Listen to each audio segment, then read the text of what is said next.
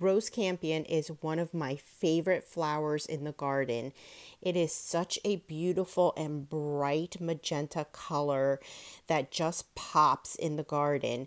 And it has this silvery gray foliage, which is very fuzzy, almost like a lamb's ear.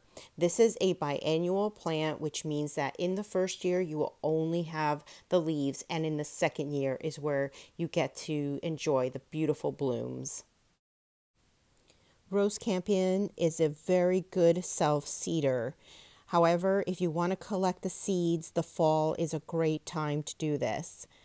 And the plant will create these little pods that you will collect the seeds from.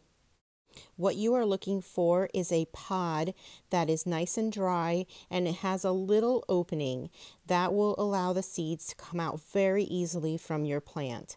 You can just cut some and put them in a paper bag and shake them around and I will show you how to collect them from each of these little pods. So now I've collected all of my pods and I have put them on a paper plate. As you can see, a lot of the seeds have already shaken out of the pods, but some of the pods still have lots of seeds in them, so I am going to be shaking them right out of the pods. You can also break open the pod and try to get all the seeds out. Since the plant creates so much seed, I just feel that shaking them and getting most of them out is good enough for me.